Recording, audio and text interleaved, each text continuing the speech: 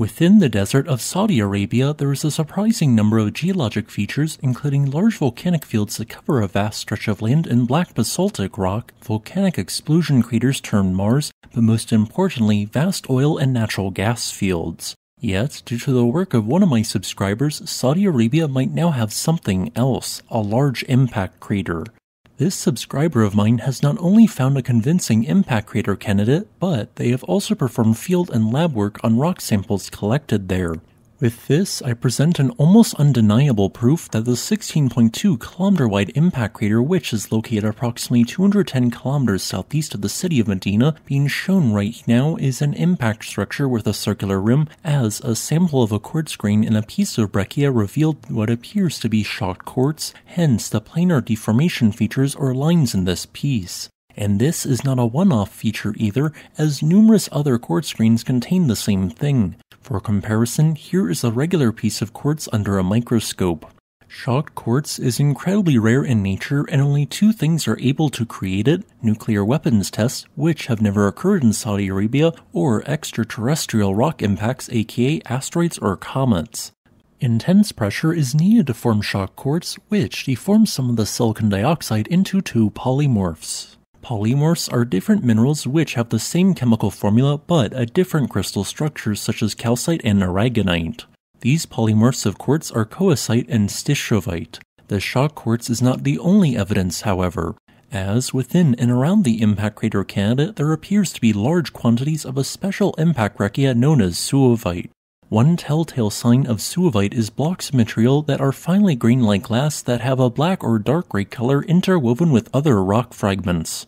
These samples from the crater have this and are thus likely suevite. Such fragments would not be found within calderas or maar explosion craters such as the 1.14 million year old Al Wahbah maar to the east.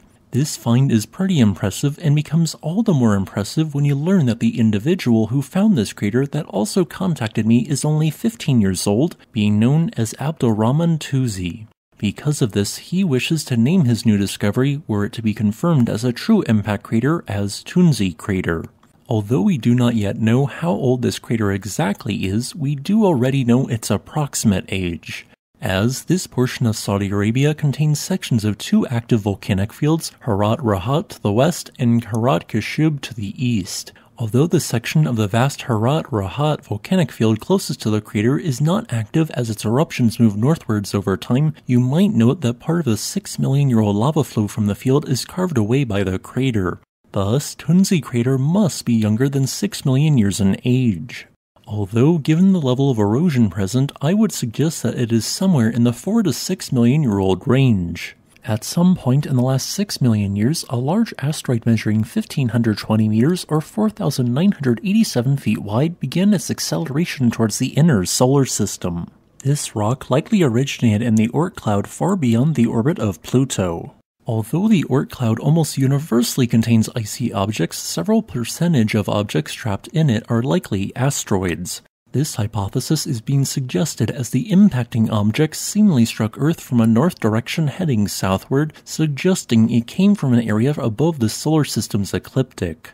After a 25,000 year journey to the inner solar system, the asteroid accelerated towards Earth at a speed of 17 kilometers per second or 38,000 miles per hour.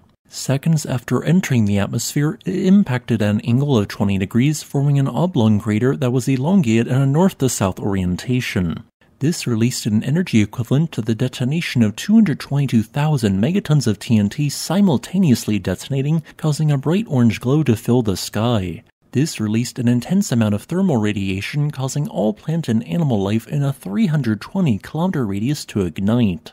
As a magnitude 8.2 earthquake was generated, a powerful more than 10,000 mile per hour shockwave raced outwards in all directions. This shockwave dissipated with increasing distance, but if any trees were present within a 600 kilometer radius, they would have sustained some damage.